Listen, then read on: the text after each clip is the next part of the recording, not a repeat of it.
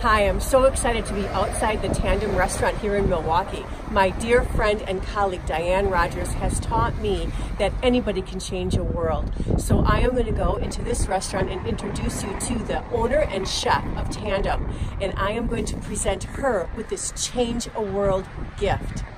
So this is Caitlin that I was telling you about. Do you remember my friend Diane Rogers Yes, who was here a couple I months do. ago? And she was very impressed with your story Yeah. because you're changing the world and you're changing a community. And that's her thing. And so she wants you to have a change the world gift. Oh, there I love it. Thank you. Welcome, thank you. All right, what do we got? She must know that I don't have enough clothing. Oh, I love it. And I also get yelled at for wearing collared shirts with the kids too much, so I'm gonna wear this one tomorrow. Thanks, Diane. Thanks for changing the world. Ooh.